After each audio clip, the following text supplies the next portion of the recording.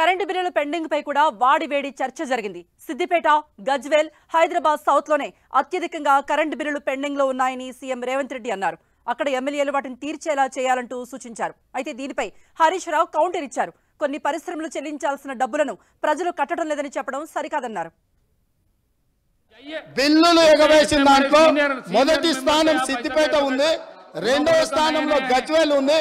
మూడవ స్థానంలో హైదరాబాద్ సౌత్ ఉంది. ఈ ముగ్గురు లీడర్లే పది సంవత్సరాలు తెలంగాణ రాష్ట్రాన్ని పరిపాలించి విద్యుత్ బకాయిలు చెల్లించక మొండి బకాయిలల్లా సిద్దిపేట గజ్వేల్ హైదరాబాద్ సౌత్ ఉన్నది అధ్యక్ష.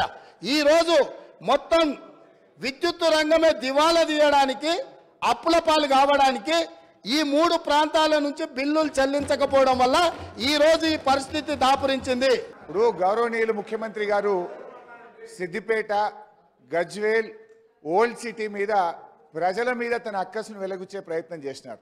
సిద్దిపేటలో కాంగ్రెస్ పార్టీ గెలవలేదనో గజ్వేల్లో కాంగ్రెస్ గెలవలేదనో ఒక నిమిషం ఓల్డ్ సిటీలో గెలవలేదని ఆయన ఏమన్నారంటే బిల్లులు అక్కడ ప్రజలు కట్టలేదు అని అన్నారు.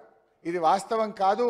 అక్కడ ఏదైనా ఒక లిఫ్ట్ ఇరిగేషన్ ప్రాజెక్టుదో ఒక ఇండస్ట్రియలిస్ట్ ఎవరైనా కట్టకపోతే ఇవాళ మీరు ప్రభుత్వంలో ఉన్నారు కనుక మీరు మీరు ఆ బిల్లులు వసూలు చేయండి తప్ప మొత్తం ఆ నియోజకవర్గ ప్రజలను నియోజకవర్గ ప్రజల్ని